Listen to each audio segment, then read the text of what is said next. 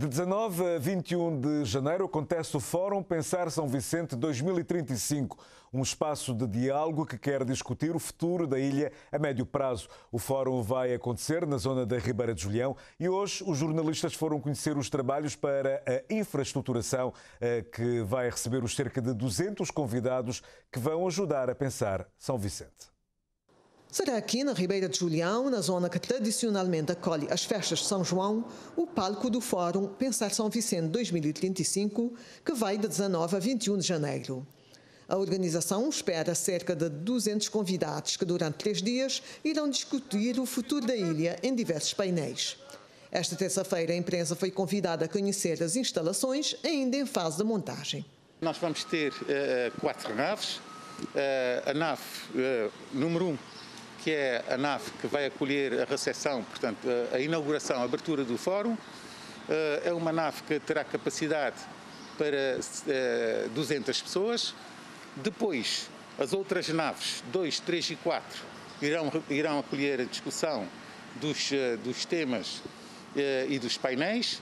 Depois ainda temos uma nave maior, que é a nave destinada às refeições, o fórum está orçado em 12 mil contos, mais da metade é destinado ao financiamento destas instalações.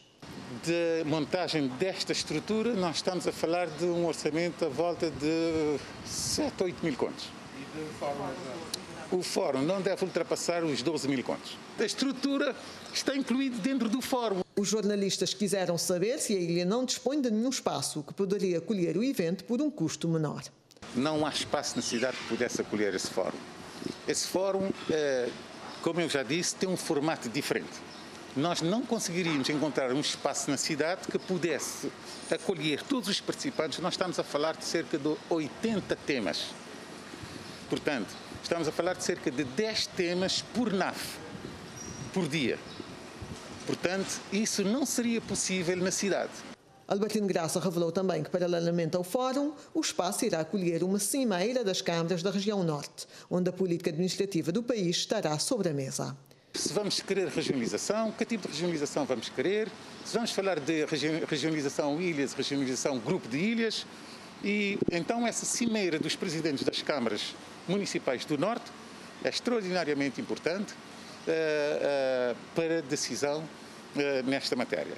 E nesse, nesse, nesse, nessa nave dos presidentes também, nós estamos a pretender um encontro dos presidentes das câmaras do Norte com os embaixadores com residência em Cabo Verde.